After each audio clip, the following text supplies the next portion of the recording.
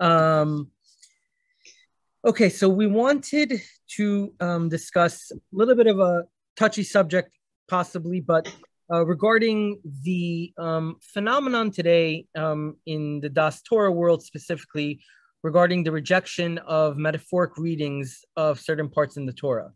Um, classical Rishonim, Rambam, Radak, Ralbag, Sforno, Sforno even Kaspi, they've all, if in, in some in different forms, have allegorized certain parts specifically regarding the Genesis narratives. Um, you also see it uh, regarding Iyyov, different different uh, books in Tanakh.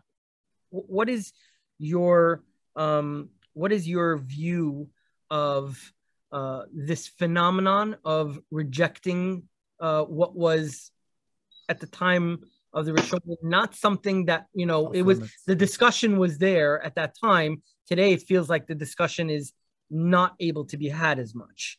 Um, what are your thoughts about that? Do you think that's a healthy thing? Uh, wh- where do we go with that? Well, um, you're 100% correct that uh, the Rishonim, in many, many ways, were much more broader minded uh, in their understanding of the Torah than we are today. Uh, in some ways, there's been a backlash of, of reaction. Uh, part of it is that we do live in a world of, of fear, and some of the fears are legitimate. The old slippery slope paradigm in which, oh, once you make something, once you make the Garden of Eden metaphorical, you're going to make Tefillin metaphorical, and you're going to make Pesach metaphorical.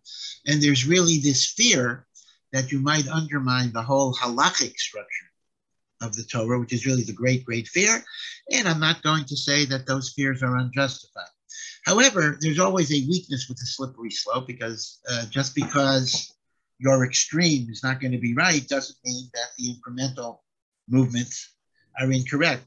So, in many, many ways, as I say, uh, the response to all sorts of things, and I think you're going to ask about science and Chazal as well, uh, is all of, all of this fear about how far is this going to go. But if you're asking me on the the actual subject matter itself, I do think there are parts of the Torah that legitimately can be uh, explained in metaphorical, allegorical ways. Uh, there is such a mahalach in Rishonim. There's even a mahalach like this in Kabbalistic literature.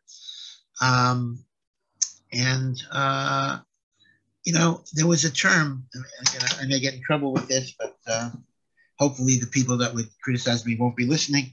Uh, there was a great scholar of mythology, uh, Joseph Campbell, a secular scholar, you know, who analyzed all sorts of myths. And he made a very important point. Now, when we say something is a myth, so normally that means, oh, it's a lie, it's a foolishness. He said that's not at all the case. Myth is one of the most powerful ways to communicate the deepest spiritual truths of a society through mashal, through metaphor, through allegory. And indeed, although some people don't even like this for Chazal, but indeed, if you look at Maharal and you look at uh, the Vilna Gaon even, you will find that their approach in the Midrash of Chazal was always to understand that midrashim were not always meant to be taken literally. So people ask the dichotomy: Is midrash true or is it false? That's a false dichotomy. It's not a question of true or false. It's certainly true. The question is: Is truth to be literal, or can truth be symbolic and allegorical? The fact that it's symbolic and allegorical does not make it less true. Rather, it refers to a profound truth that is communicated in a particular medium.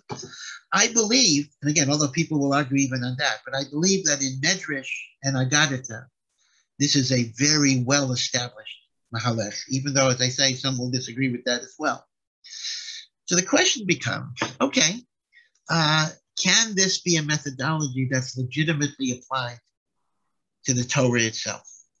I think the Rishonim say, in, in at least in some in some instances, some instances, it is.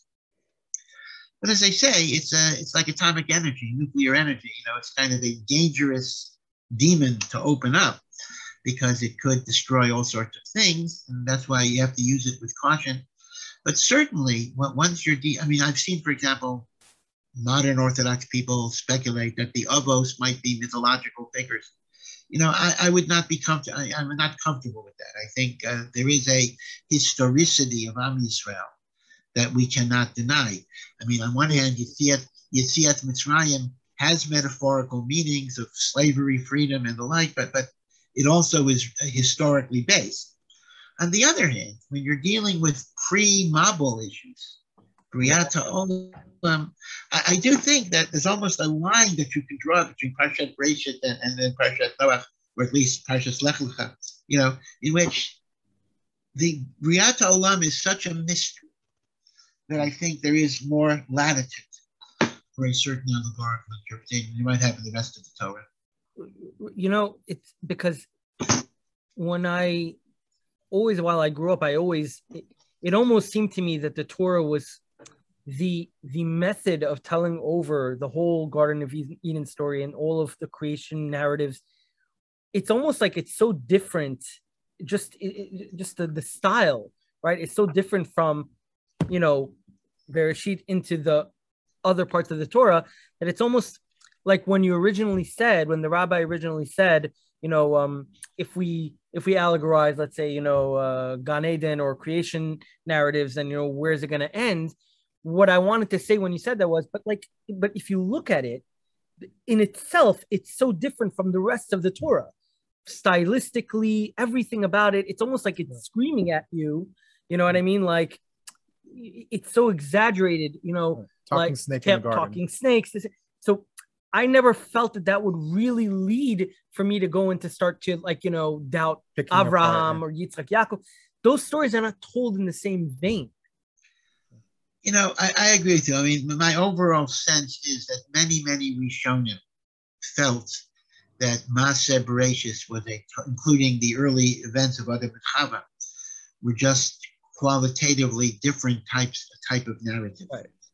Uh, and I will tell you that um, at least one very prominent, well, not prominent, but a great, great, great uh, thinker in Talmud Chacham, who perhaps is not as well known as he should have been, Rav Gedalia Nadel, Zichron Levracha, who was a Talmud of the Chazon Ish. He was well established in the Litvish Torah world. Uh, he was Nanami Yagia Kapav. He never became a Rosh Yeshiva. He worked as a contractor, but he was phenomenal Talmud Chacham. And uh, Rav Shilat uh, wrote some transcripts of some shiurim. Maybe maybe you came across the book Mitorah yeah, well, Italia. I'm Rav Shilat and Rav Nadel. This, I'm yeah, yeah, yeah. writing them up. And, yeah. Uh, this is a phenomenal book because you know uh, when when Natan Slifkin says those ideas, they can they can dismiss them and throw them off, throw them under the bus. Uh, when Rav uh, Nadel says it, you know you can't you can't say anything about him. You know, so so it is interesting that I think you know he's moved in that direction. He moved in that direction with Oshior.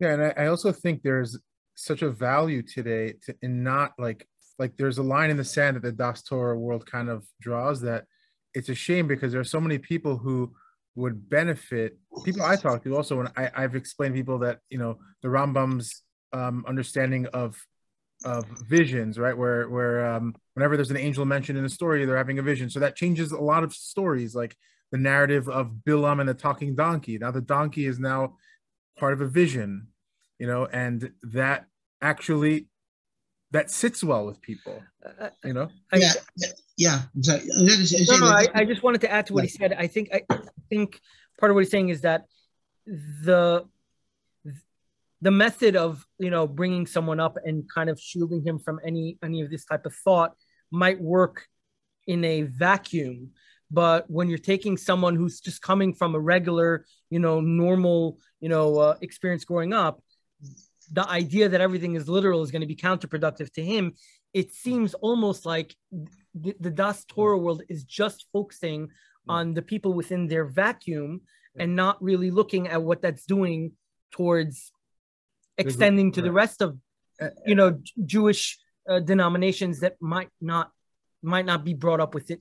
You get what i'm saying no, no, 100%. I mean, this is the problem. I, I, I think even strategically or tactically, uh, there's a mistake being made here because the theory is, the theory of a lot of the Daas Torah is we can't allow uh, articulation of these ideas because it will take people away from pure emuna in the Torah.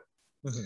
The problem is by insisting on a certain literal perspective, you're going to be driving people away. So There's an instead of saying, alienation that's Yes. by default happening. yeah, yeah, yeah, yeah. And not only are you going to drive people away who are not already affiliated with you, but you're going to have even thinking people within the Haredi Torah world itself. Correct. If, if they're presented a certain static model that has to be exactly this particular way, then they come to the conclusion that that's not a plausible reading, you've given them no alternative to remain within the faith. And that's absolutely catastrophic. Exactly. Yeah. Um, I have seen more and more now a phenomenon that I call uh, the Mir the Mir apicor Mir means M-I-R apicoris. I mean, yeah, I don't, I don't mean to besmirch Mir in particular, but I'm coming across now yeshiva educated people who are in kollel and they have children with out, and they just decide over a course of time they don't believe things anymore. It's hard to fault them. It's an absolute tragedy. It's a tragedy, Mamish. And uh, all uh, and Ki- Kiruv cannot reach these people because they've heard they've heard every Kiruv argument already. You know, well, what are you gonna what are you going to tell them? But my very amateur diagnosis, in part, is that they were presented a certain model of Torah, and with the and Yiddishkeit rises or falls on that model. When that model no longer works for them, they have no alternative other than rejection of Yiddishkeit Lagamra. If they would understand a greater range of interpretive possibilities, I believe that they could have stayed in the fold. I mean, I, I try to do that now, uh, try to bring them back, but it's very, very difficult because they literally were taught what Torah Shabbat is, and that's what it is. Everything was given to Moshe. Every word of the Gemara was given to Moshe, wh- wh- whatever, whatever it would be. And given that rigidity, they feel they have nowhere to go Yeah. but out. So, in a sense, the the, the fear of the slippery slope uh, can actually work in the opposite direction. well said. So well Beautiful. said.